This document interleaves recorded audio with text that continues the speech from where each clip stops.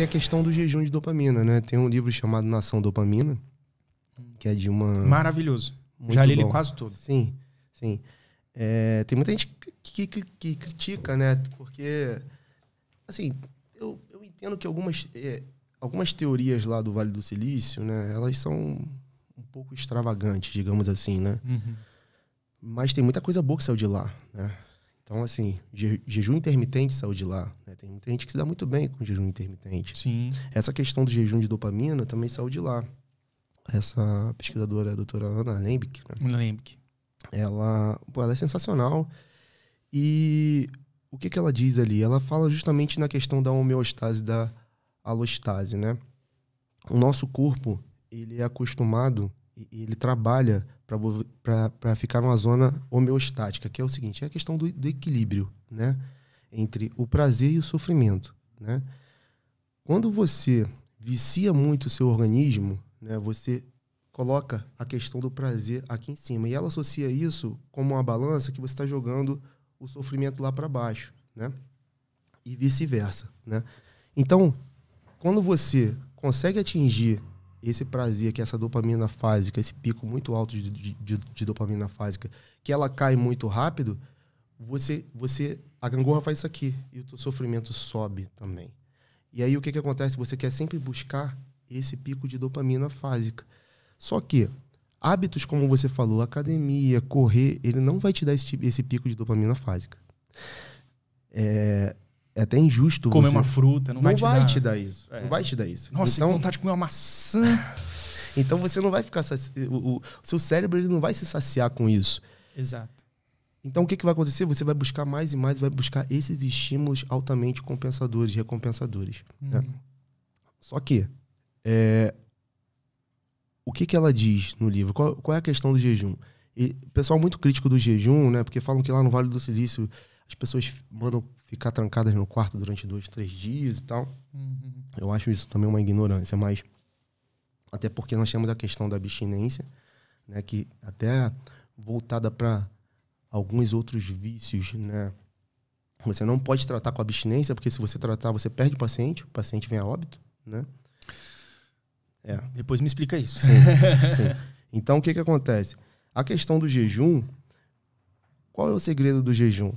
É justamente você trocar esses hábitos ruins por hábitos saudáveis né? e ter, ter persistência, ter disciplina, ter rotina. Por quê? Porque conforme o tempo vai. Isso aí a gente vai entrar numa, na, na questão dos engramas. Né? Sim. É, explicar um pouco mais tecnicamente, cientificamente. Né? O que, que é um engrama? O engrama ele é um pedacinho de memória que tem um circuito dentro, né? Esse engrama, vamos supor, você pegou seu celular aí agora, você olhou a sua rede social, viu a tua curtida, liberou dopamina, te deu prazer, você tem um engrama formado ali, você tem um circuito, né? Você, tem um, você teve um, um, uma deixa, um estímulo, né? Que foi pegar o celular, você teve o trajeto, que foi ver a rede social, você teve a recompensa, que foi a sua curtida. Uhum. Isso aí é um circuito, né? Esse circuito, ele pode estar muito ativo, latente, ou ele pode entrar num estado de inatividade. Se você não acioná-lo constantemente, ele vai ficando cada vez mais fraco até ele entrar. Ele vai continuar ali, mas ele vai, ele vai ficar desativo. Uhum. Então, assim, tudo aí a gente entra numa questão que está muito em voga, que é a questão do potencial de longa duração. Você já deve ter ouvido falar, uhum. né? É o tem um, uma, uma é, Esqueci como é que é a, a, a tradução para o inglês que eles usam muito. Né? É, Pode dar um nome aproximado. O que, que ele quer dizer, é exemplo? long term... É, long term potentiation. É alguma coisa assim. Sim. Né? Que é o quê?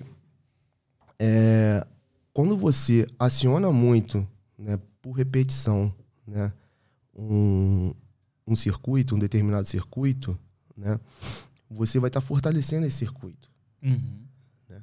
E quando você fortalece esse circuito, né, outros circuitos são formados, são associados a ele, que chamam de, de um complexo né, de engramas de circuitos, né, que quando eles são disparados juntos, eles se fortalecem juntos. Uhum. Então eles ficam muito mais fortes e muito mais difíceis de, de ser apagados, de, ser, de, de, de entrar no estado inativo. Sim. Né? Então, por isso, essa questão, quando você fortalece muito um circuito, e a, e a gente tem que se preocupar com a questão também da esquiva, por quê? Quando você, geralmente, quando você está iniciando um hábito saudável, né, a tendência, o seu cérebro ele não quer aquilo. Aquilo não é prazeroso para o seu cérebro. Agora, a esquiva é prazerosa. Você deixar de fazer é prazeroso. Então, se você esquivar de fazer aquilo ali que você, você se propôs a fazer, se você entrar, é aquilo, não existe fórmula mágica, existe regra e comprometimento. Se você deixar de fazer um movimento de estiga, de, de esquiva, desculpa, ele se, você vai reforçando, você vai criando um circuito de, de, esquiva que depois o seu cérebro vai ficar muito bom em esquivar. O cara literalmente bom, é um tipo um sabonete, né? Exatamente. Ele vai ficar muito bom em esquivar daquele hábito saudável. Então é aquilo, você modula o seu cérebro. Né? Caraca. E então essa... até a procrastinação, ela é não é treinável, mas ela assim, dá para evoluir o treco, né? Não, você treina. você fica bom em Sim, procrastinar. você fica muito bom nisso. Caraca, velho. Então, então, então é isso. A gente a questão do jejum é justamente isso. Você você o jejum ele é comprovado quando a gente faz, quer ver, faz uma dieta de carboidrato. Né? Acho que muita gente já deve ter feito, né? Uma dieta low carb, né? Low carb, é, na verdade eu já fiz a cetônica, cara. Que ele libera os corpos cetônicos. É uma dieta meio maluca, mas ela funciona. Beleza. A low carb, a.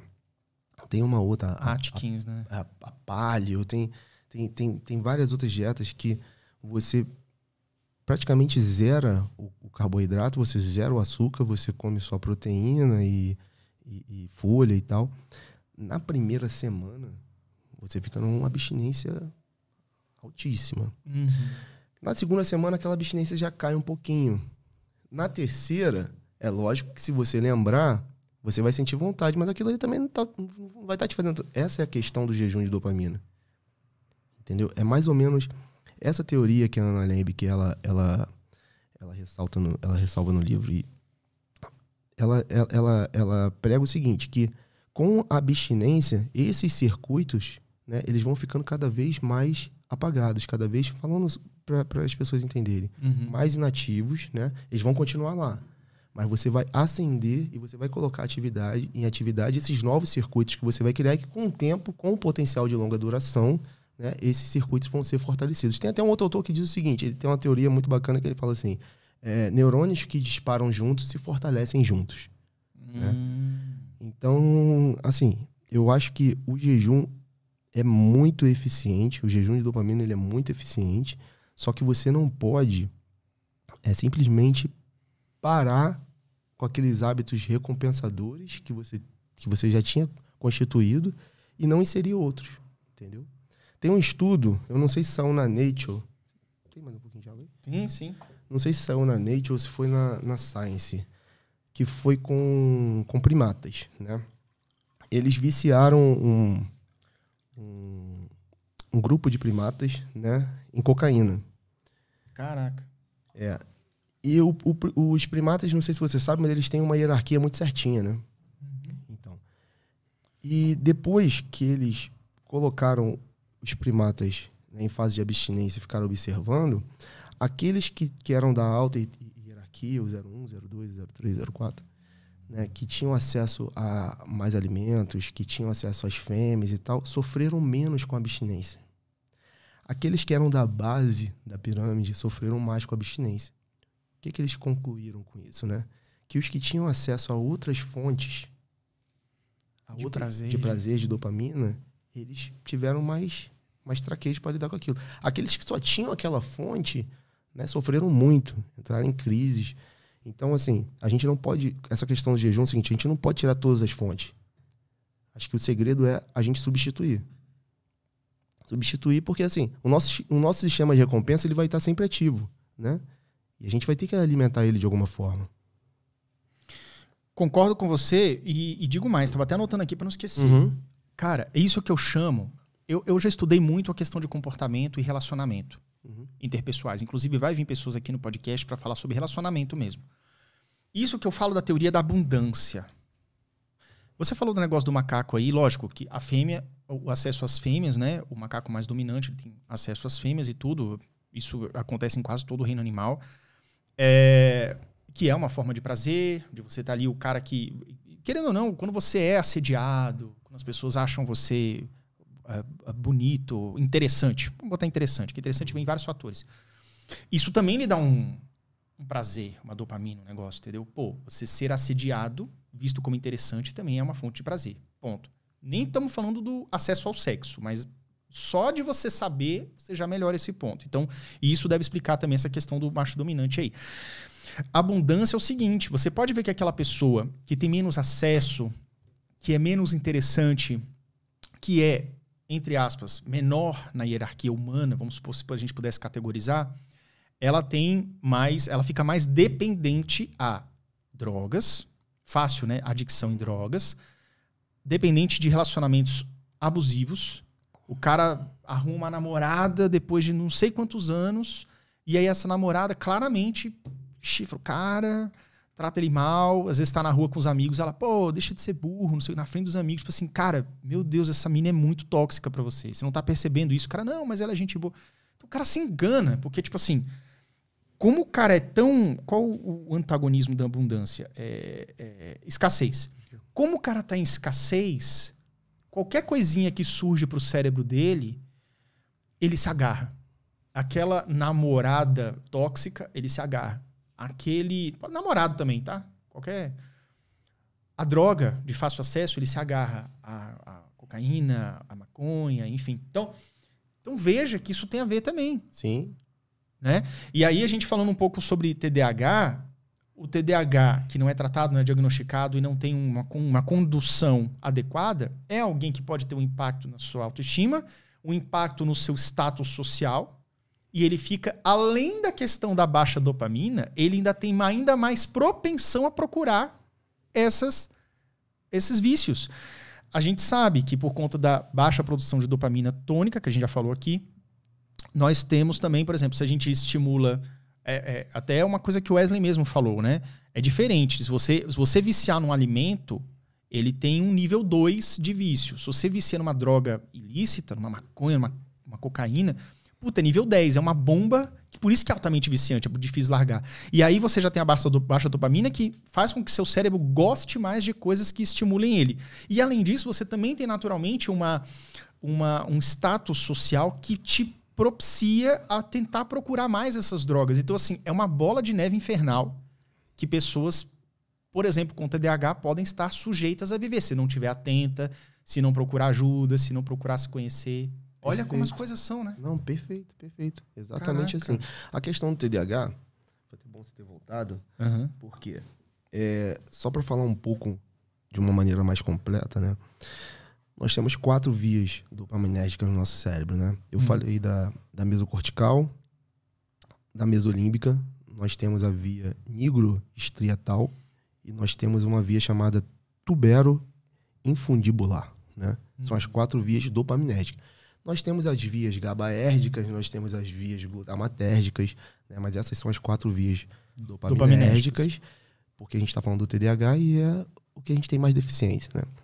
Vamos lá. Aí agora eu vou explicar os subtipos do, do TDAH, né? Uhum. É, quais são as funções dessas vias? A mesocortical, como eu falei, é levar a dopamina até o córtex pré-frontal, né? A mesolímbica é do sistema límbico até a área cortical. A via nigroestriatal, ela é responsável pelos nossos movimentos, né? Sim. E a via tuberoindifibular, ela é responsável pela nossa parte endócrina. Ela tem muita atividade na parte endócrina, principalmente no hormônio chamado prolactina, né? que é um, um hormônio que estimula o leite materno e tal. A, a condição sine qua non do TDAH é ele ter uma baixa, é, uma hipo né, é atividade dopaminérgica na via mesocortical. Essa é a condição sine qua non. Ele pode ter todas as outras reguladas, mas se ele tiver só essa via né, é, desregulado, ele vai ser um TDAH desatentivo, beleza? Uhum. Se ele tiver a via mesocortical e a via mesolímbica desregulada, né, ele vai ser desatentivo e impulsivo. Né? Oh. Se ele tiver a via mesocortical e a via nigroestriatal desregulada, ele vai ser o desatentivo e o hiperativo que faz parte dos movimentos, né? E tem um caso que muita gente que até que até assim é difícil a gente ver, mas é a questão da tuberoindifibular. Por quê? Tem muitos casos de TDAH que, principalmente homens, que eles desenvolvem ginecomastia, uhum. né? Que é justamente a desregulação nessa via, né, dopaminética também. Então, é, é, um, é uma combinação, né? Você pode ser desatentivo, mas você pode ter todas essas combinações, você pode ter todas, entendeu? Ou ser só desatentivo. Olha. Né? Então, essa questão da dopamina, é, lógico que, como você falou, tem outros neuro, neurotransmissores, mas a questão da dopamina ela é a que mais pesa na questão do TDAH, né? Por conta dessas quatro vias, né? E que existe o, pro, o processo degenerativo né, normal né, do nosso cérebro e que essas vias estão inclusas também. Então, com o passar do tempo, a gente ainda vai perder ainda mais a capacidade, que já é baixa, a gente vai, a gente vai perder ainda mais a capacidade né, do, dessas circuitarias. E, e, e como é que é uma maneira inteligente, eficaz ou mais aceita para a gente tentar retardar isso daí? Porque nós sabemos que até os neurotípicos vai chegar um momento que a gente vai ter uma certa demência. Uhum. A demência no sentido literal, tá? Uh, não no sentido conotativo. Uh, é no sentido de, por exemplo, vamos botar aí, né? A gente falou o exemplo do Silvio Santos. Sim, demência é uma patologia. É uma patologia. Então, assim, a gente percebe que o idoso, ele vai perdendo esse freio, ele vai perdendo um pouco a capacidade, assim. E isso é um grauzinho de demência que vai evoluindo com o passar dos anos, naturalmente. Ninguém, ninguém vai escapar disso. Então, a gente tem que exercitar, a gente tem que modular o nosso cérebro, né? Via neuroplasticidade, uhum. né? via a, a questão do potencial de ação que eu falei. É, e a gente tem que tratar o TDAH desde o diagnóstico. Esse, esse diagnóstico ele tem que ser feito o mais precocemente possível. Né? Uhum. Assim, existem casos comprovados, né? o próprio Fábio que eu falei aqui, ele tratou o TDAH dele e ele não usa medicação e o cara. Pô, Entendi. Ele não tem sintomas mais. Uhum. Entendeu? Então, assim, a gente precisa é, condicionar o nosso cérebro. A gente precisa. Assim, a gente vai ter. É, eu sempre falei isso para mim. Né? Eu sempre, com a questão do TDAH, sempre tive uma dificuldade de memorizar, de ler e tal, mas eu falava para mim mesmo o seguinte: é, cara, se eu tenho essa dificuldade, o problema é meu. Eu vou ter que superar. Uhum. Então, a gente tem. A gente está largando na corrida um pouco mais atrás, mas a gente tem a capacidade de chegar junto ou até na frente. Né? Sim. Só que a gente vai ter que se esforçar um pouco mais. Sim. Né?